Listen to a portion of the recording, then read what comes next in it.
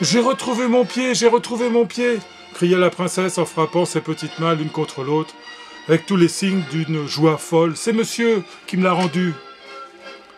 Les races de Kémé, les races de Nahasi, toutes les races noires, bronzées, cuivrées répétaient en chœur La princesse Hermontis a retrouvé son pied. Xisutros lui-même s'en émeut.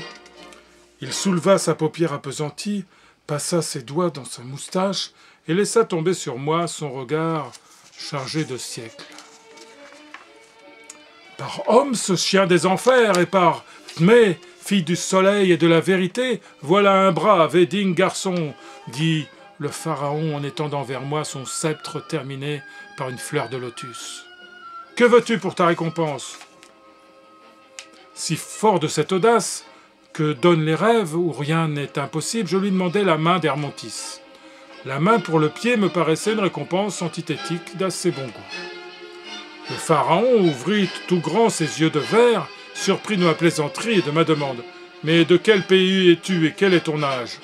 Je suis français et j'ai vingt-sept ans, vénérable pharaon. Vingt-sept ans? Et il veut épouser la princesse Hermontis qui a trente siècles s'écrièrent tous à la fois tous les trônes et tous les cercles des nations. Hermontis seul ne paraît pas trouver ma requête inconvenante. Si tu avais seulement deux mille ans, reprit le vieux roi, je t'accorderais bien volontiers la princesse, mais la disproportion est trop forte. Et puis, il faut à nos filles des maris qui durent. Euh, vous ne savez plus vous conserver. Les derniers qu'on a apportés il y a quinze siècles à peine ne sont plus qu'une pincée de cendre. Regarde-moi. Ma chair est dure comme du basalte et mes os sont des barres d'acier. J'assisterai au dernier jour du monde avec le corps et la figure que j'avais de mon vivant et ma fille Hermontis durera plus qu'une statue de bronze.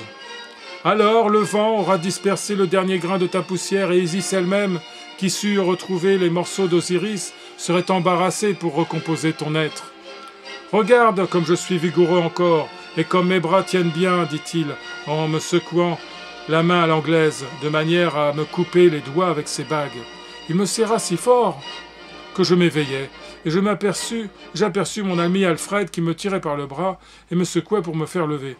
Ah ça, enragé dormeur, faudrait-il te faire porter au milieu de la rue et tout tirer par un feu à feu d'artifice aux oreilles? Il était plus de minuit. Tu ne te rappelles donc pas que tu m'avais promis de venir me prendre pour aller voir les tableaux espagnols de Mr. Aguado mon Dieu, j'y pensais plus, répondis-je en m'habillant. Nous allons y aller. Euh, j'ai la permission euh, ici sur mon bureau. Je m'avançai effectivement pour la prendre, mais jugez de mon étonnement lorsqu'à la place du pied de momie que j'avais acheté la veille, je vis la petite figurine de pâte verte mise à la place par la princesse Hermontis.